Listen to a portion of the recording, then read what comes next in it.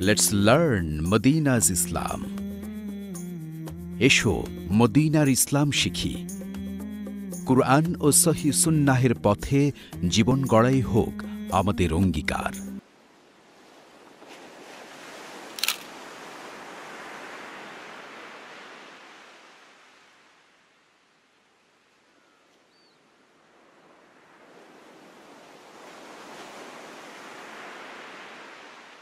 বিসমুল্লাহ রহমান রহিম সুপ্রিয় বন্ধুগণ, আমরা আজকে যেখানে দাঁড়িয়ে আছি, আমরা দেখতেছি মহান রব্বুল আলমিনের একটি নিদর্শনের বহিঃপ্রকাশ। আল্লাহ রব্বুল আলমিনের যে নিয়ামত রয়েছে, অসংখ্য নিয়ামত, তার মাঝে একটি নিয়ামত যে আমরা দেখতেছি, পানি প্রবাহমান, পানি আসতেছে, পানি খেলতেছে, ঢেউ হচ্ছে। এই যে ঢেউ, এই প্রাকৃতিক যে নিদর্শন, সৌন্দর্য যদি আমরা প্রশ্ন করি, কে সৃষ্টি করেছেন? সকলে উত্তর দেব, মহান রব্বুল আলমী সৃষ্টি করেছেন। তারপরও, প্রভুকে জানার পরও আমরা বিভিন্নভাবে, বিভিন্ন সময়ে শয়তানের দোকায় পড়ে যেটি করে থাকি, সেটি হলো শির্ক। যেই শির্ক একজন মুসলিমকে ইসলাম থেকে বহিষ্কার করে দেয়, তার স্থান চিরস্থায়ী জাহান্নামে নিক্ষেপ করে এবং জান্নাত তার জন্য হারাম হয়ে যায়। মহান রব্বুল আলমিন সবচেয়ে বেশি রাগান্বিত হন, ক্রোধ হন, এই কাজটি করলে সেটি হলো শের আমরা আজকে জানব যেই কাজ করলে মহান রব্বুল আলমিন রাগান্বিত হন, এই শেরক, এই শেরকটি কী? শেরক হলো আল্লাহ রব্বুল আলমিনের সাথে অন্য কাউকে সমতুল্য, সমকক্ষ মনে করা তথা ইবাদতের যে কোনো প্রকারের মাঝে একটি প্রকার আল্লাহ ছাড়া অন্য কারোর জন্য করা যেটি আল্লাহ রব্বুল আলমিনের জন্য উপযুক্ত এবং তার জন্য সামঞ্জস্য। এটি দুই প্রকার হয়ে থাকে।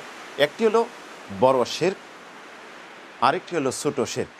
বড় শেরক হলো যে কোনো ইবাদত আল্লাহ ব্যতিরেকে অন্য কাওর নামে অন্য কাওর জন্য করা।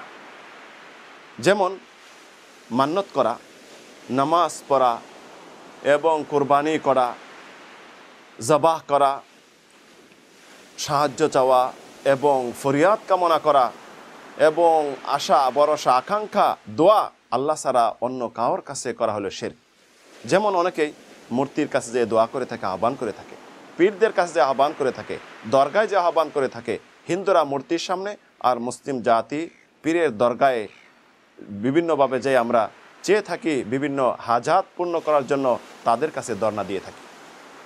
দুর্বল মুসলিম আমরা বলে থাকি তাদের নিকট এই জন্য যাই। আমরা পাপিষ্ট, আল্লাহর কাছে সরাসরি কীভাবে বলব?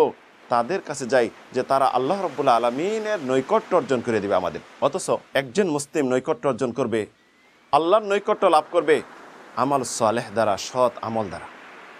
যদি আমরা এই সমস্ত ইবাদত অন্য কাওয়ার জন্য করে থাকি চাই হোক বুধ পেতনি অথবা মূর্তি, নবী অলি আউলিয়া, দরবেশ যে কার জন্য হোক না কেন করে থাকি, তাহলে আমরা মোশেক হব, আমরা ইসলাম থেকে বহিষ্কার, আমাদের চিরস্থায়ী স্থান হবে জাহান্নাম, এবং আমাদের কোনো নফল ফরস ইবাদত আল্লাহ কবুল করবে না যদি আমরা তবা না করি। আল্লাহ রবুল আলমিন কোরআনে কারিমে অসংখ্য আয়া- আয়াতে এ উল্লেখ করেছেন। রসুল সাল্লাহ সাল্লাম অসংখ্য জায়গায় উল্লেখ করেছেন। যেমন রসুল সাল্লাহ সাল্লাম বলেছেন, মান মাতা ওহুয়া মিন দুনিল্লাহি নিদ্দান দাখালান নার। যে যে ব্যক্তি আল্লাহ ছাড়া অন্য কাউকে আহ্বান অবস্থায় মৃত্যুবরণ করল সে জাহান্নামী। আল্লাহ রব্বুল্লা আলমিন শেরেক গুণা যে ক্ষমা করবেন না, তাই তিনি ঘোষণা করেন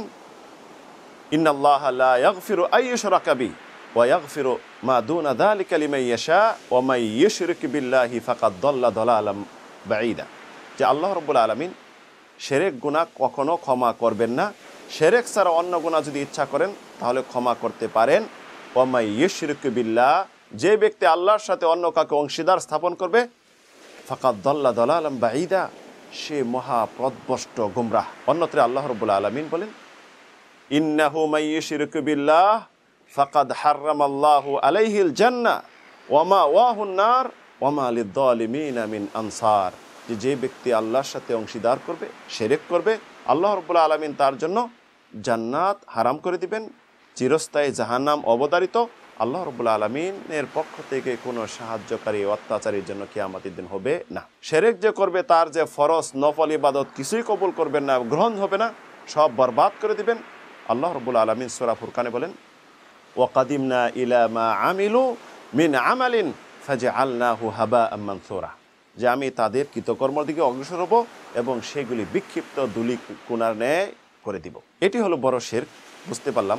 দ্বিতীয় প্রকার হলো ছোট শের যে শেরকে আসগার বলা হয়, সেটি হলো সবচেয়ে বড় কবিরা গুণা এবং মানুষের আমলকে যেটা বরবাদ করে দেয়।